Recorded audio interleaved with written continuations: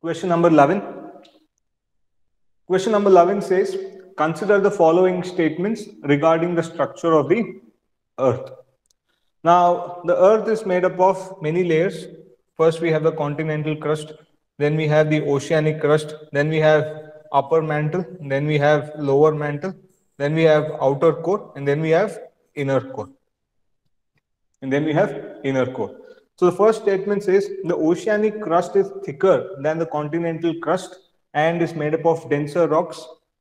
There are two things. One, it is talk, uh, one it is talking about the thickness of oceanic crust, and then it is talking about the density of the oceanic crust.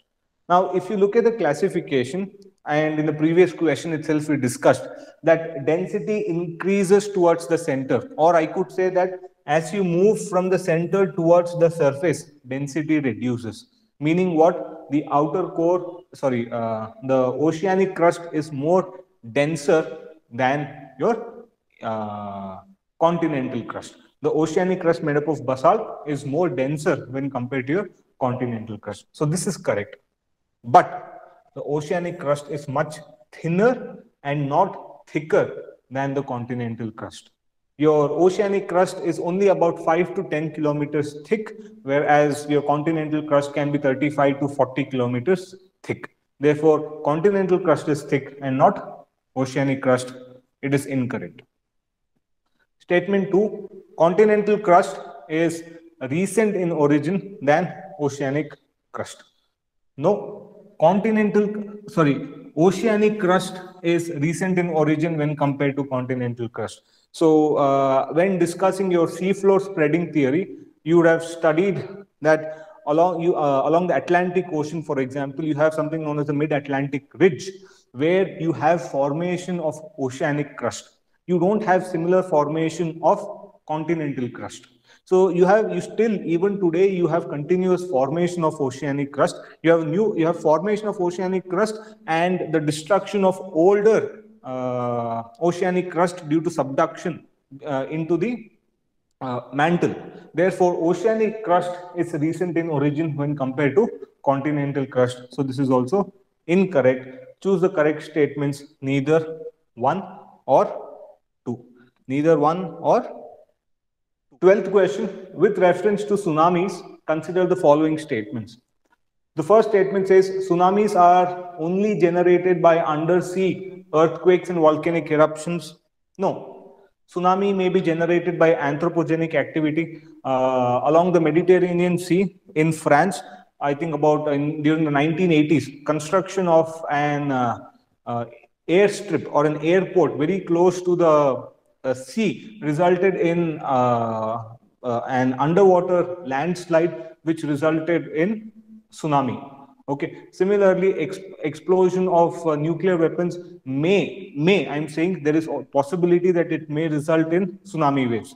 Uh, underwater landslides may also result in tsunami. Uh, what do you say? Uh, a meteorite, oh, sorry, uh, a meteor shower or an asteroid which survives its journey through the atmosphere and plunges into the oceans may also result in tsunami waves. So not restricted only to earthquakes or volcanic eruptions. This is incorrect. Second statement, as it approaches, its velocity increases. Now, when it comes to tsunami, please remember always, if this is the surface and this is ocean, out there in the open ocean, tsunami waves will always have very long wavelength. In open oceans, away from the surface, it will always have long, very long wavelength of say about more, uh, about 500 kilometers, for example. It will have high velocity, very high velocity, about 500 to 800 kilometers per hour, but very low amplitude. But very low amplitude. But when the same tsunami waves approaches the surface, what happens? The depth reduces. There is shallow water. So when the tsunami waves reaches shallow waters, what will happen is that the long wavelength reduces, amplitude increases and the velocity also reduces. Since the amount of water reduces now due to friction along the surface, sorry, uh, due to friction along the surface, the velocity reduces. The velocity reduces. Hence, wavelength also reduces, but amplitude increases. Therefore, when the tsunami waves approaches land, it has Uh, a great height. Tsunami waves will have a great height of about 3 to 4 or even 10 feet stories in height. Please remember, when it reaches the surface, short wavelength, low velocity, high amplitude. Okay, so velocity decreases and not increases. This is also incorrect. Choose the correct statements. Neither one nor two. It is option D. Okay. 13th question. Consider the following statements with respect to volcanoes. The first statement says volcanoes of central eruption type are the most explosive and the lava non-viscous unlike fissure type volcanoes. This is obviously true. You have two types, fissure type volcanoes or central eruption type volcanoes. Your central eruption type volcanoes like Stromboli, uh, Vesuvian or uh, Peline uh, volcanic eruptions where the lava is very, very viscous and hence it is not able to flow out easily. And this results in explosive volcanic eruptions when compared to your fissure type volcanic eruptions where the lava is more fluid and is able to flow. So first statement is correct. Second statement says volcanoes are usually seen in plate boundaries and not within plates. Now, this statement is true. Yes, most or majority of the volcanoes are only seen along plate boundaries, but you also have volcanoes in the middle of continents, for example, or in the middle of your continental plates. Okay, so you have something known as hotspot volcano, known as hotspot uh, volcano, such as your Hawaiian Islands,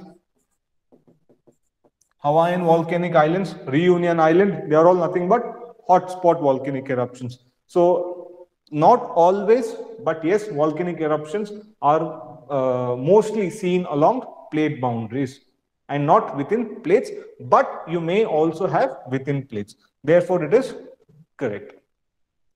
Third, calderas are deep depressions. No, calderas are not deep depressions. Rather, calderas are large craters. Calderas are not deep depressions that are formed during the evacuation of a magma chamber. Rather, calderas are large craters. So what happens? This is a volcanic eruption which is taking place Okay, this is a volcanic eruption which is taking place. Now, what happens if the lava is very viscous? It may solidify along the vent. It may solidify along the vent and therefore it will plug the opening. When it plugs the opening, what will happen? A tremendous amount of pressure is built from within and finally the entire thing will explode. The entire thing will explode and collapse, leaving behind a large crater, leaving behind a large crater. Over a period of time, it may be filled with water. It may be filled with water to form something known as a caldera lake. To form something known as a caldera lake. Okay, so this is correct, this is correct, this is incorrect. Uh, this is correct, this is also correct. This is incorrect. So the correct answer is B, 1 and 2. The correct answer is B, 1 and 2. Next question, question number 14. Which of the following can cause an earthquake? And uh, can a volcanic explosion result in an earthquake? Yes.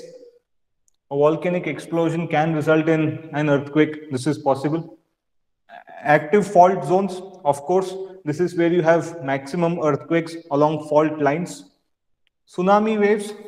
No. Tsunami waves is an effect of earthquake, not a cause. The question is asking for cause.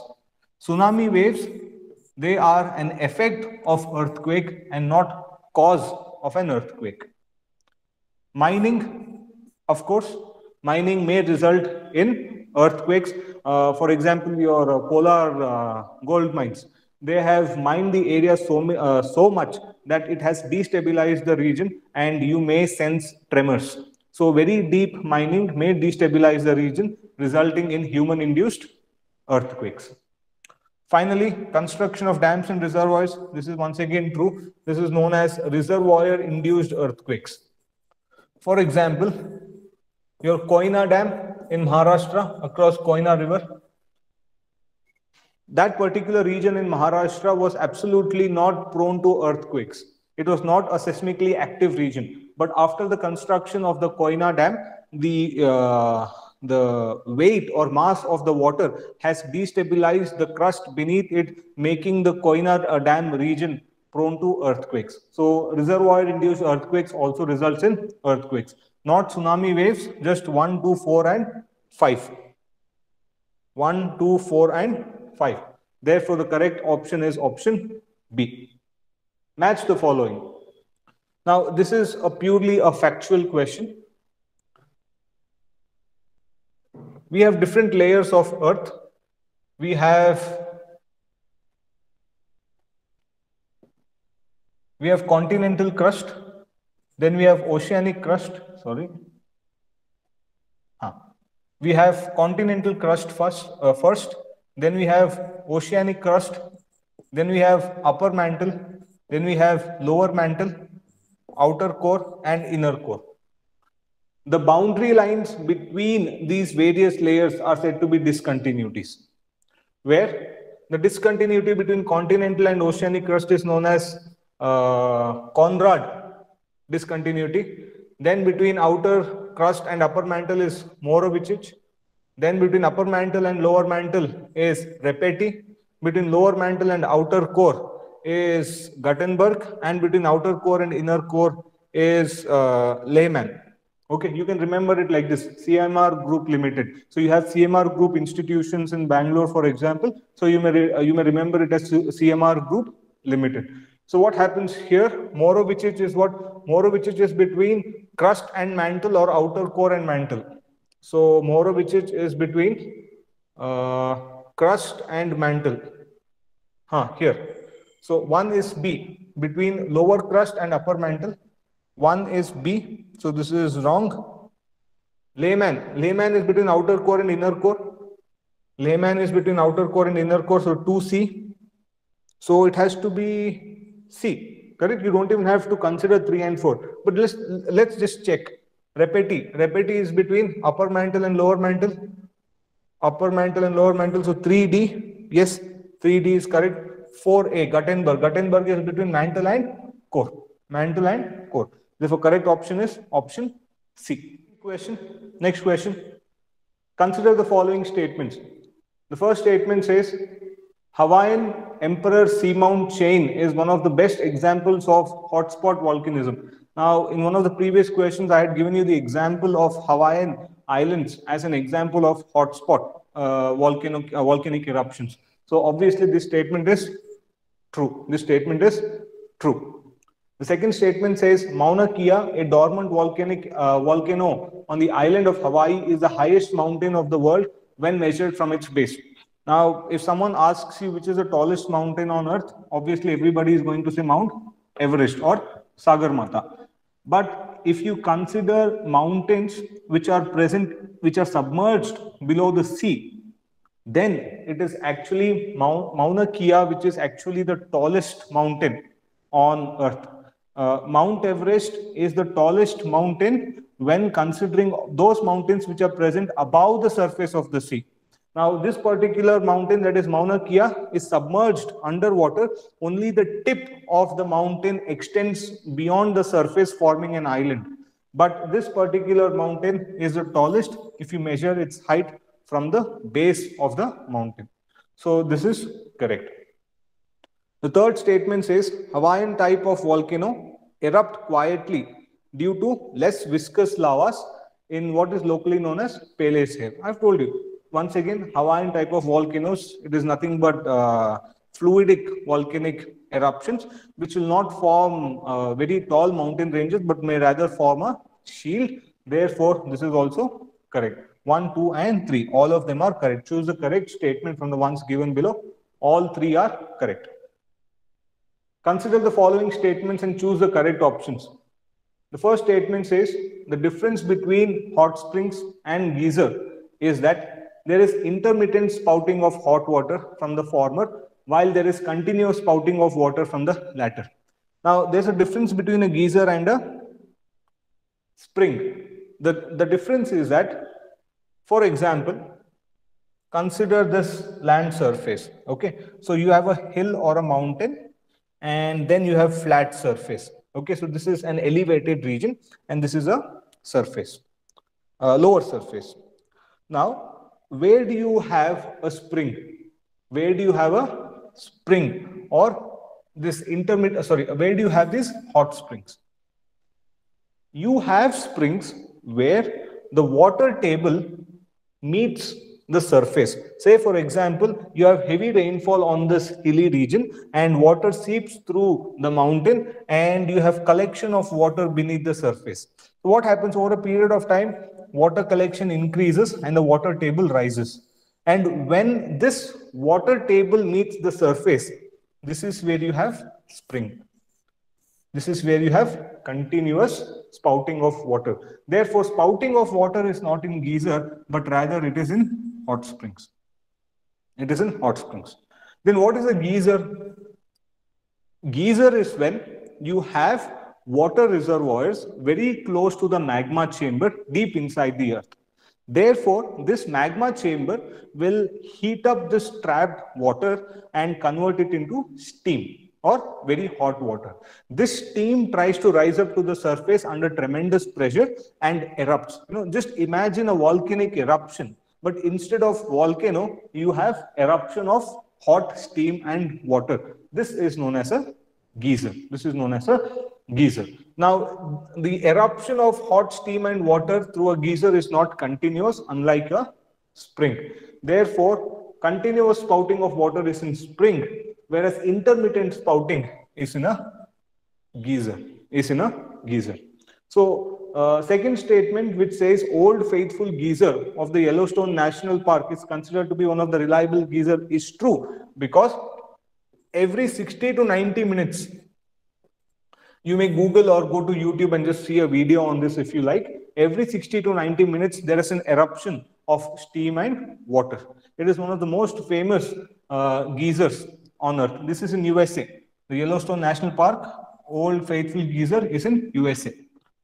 Third, fumaroles are the last signs of active volcanoes. Yes, fumaroles are the last signs of active volcanoes. When the volcanic eruption is dying, this is when you see fumaroles where they emit gases and water vapor, where they emit both gases and water vapor. So not water, sorry, not water.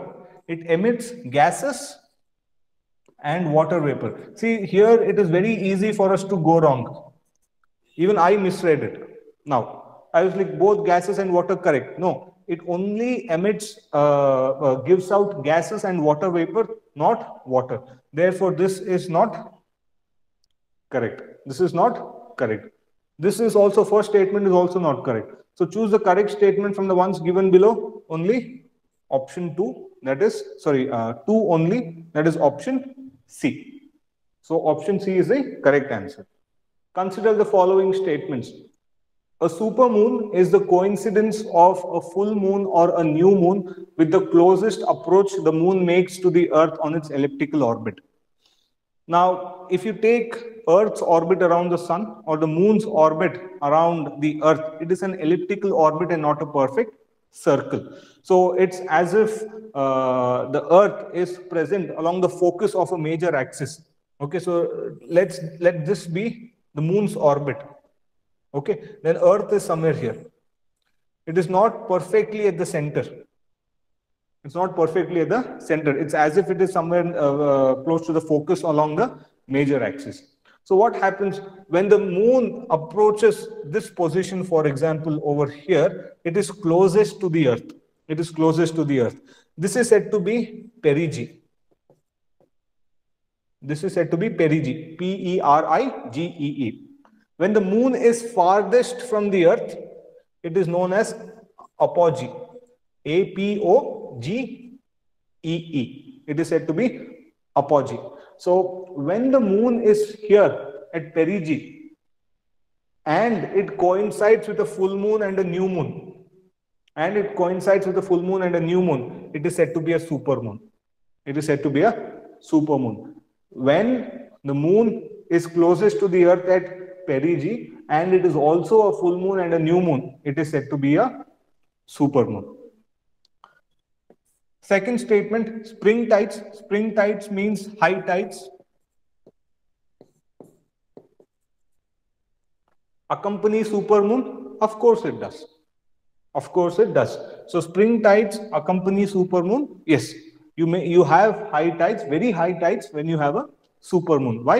Because the moon is closest to the earth and hence gravitational pull is stronger. See, always remember, gravity is directly proportional to mass or weight of the body. Mass, more massive the body, more is the gravitational pull. But gravity is inversely proportional to distance. More the distance, lesser is the gravitational pull. So statement 2 is correct. Third, blue moon. Now, blue moon is a phenomena which rarely occurs. You would have heard of this term, right? Sorry, a phrase. Uh, occasionally, people use this phrase once in a blue moon. It means something which occurs very rarely. So what is a blue moon? Blue moon is when you have a second full moon in the same month. Normally, what does it happen? See, the lunar cycle is about 29 days, whereas the solar cycle uh, uh, has a month of about 30 or 31 days. Whereas in a lunar calendar, for example, every uh, month is about 29 days in length. So what happens generally every month uh, along this uh, your uh, solar calendar every month you only have one full moon. But there may there may be a month where you get two full moons. So the second full moon in that month is said to be a blue moon. So blue moon occurs while other colors in the spectrum no it is absolutely wrong so third statement is wrong whereas the first and the second statement are correct which of the following are correct one and two only one and two only 19 which of the following pairs represent confluence of warm and cold oceanic currents? Now, this is purely factual. There are many oceanic currents. You should know the distribution, the movement uh, of these oceanic currents in which part of the ocean. It is very important with respect to prelims as well as your mains. It is very, very important. Okay. See, this is one more advantage of solving uh, question papers is that you understand what type of questions are asked and based on that you focus on what is necessary because knowing what not to read is more important than what to read so when you solve question papers you understand what type of questions come and hence your brain starts to focus your mind starts to focus on those things which are necessary from exam point of view because that is what is necessary you're not uh, nobody is testing you for your knowledge you only have to score more than others. Okay, so uh, which of the following pairs represent the confluence of warm and cold oceanic currents? Labrador current and Gulf Stream. Now, Labrador current is a cold current, of course. Labrador current is where between North America and Greenland. Between North America and Greenland. So, if you take uh, North America and this is Greenland, what do you have here? You have the Gulf Stream. You have the Gulf Stream, which is warm. Whereas here you have the Labrador current, which is cold. And both of them meet. So this is correct. This is warm. How about the second statement? Kuroshio current and Oyashio current. This is along Asia in the Pacific Ocean. This is in the Atlantic Ocean. But Kuroshio current and Oyashio current is in the Pacific Ocean on the eastern side of Asia. When you have the north uh, equatorial current along the Pacific Ocean, which is deflected northwards, it moves up as the warm Kuroshio current. It then meets with the cold Oyashio current, which is coming in along Japan. So this is also true. This is also true. How about option C, Gulf Stream, warm, North Atlantic current? No. Gulf Stream gives rise to North Atlantic current. It is not the confluence of a warm and cold current. Therefore, both A and B are correct. Both A and B are correct. Now here, uh, candidates once again tend to make mistakes. What is a mistake? They will see the first option. They will see Labrador in Gulf Stream. They know Labrador is cold, Gulf Stream is warm. Both of them meet. They would immediately tick this and move on to the next question. But you have to go through the remaining questions. What is option D? Option D is both A and B. You've never checked for option B. Therefore, please go through all the options independently.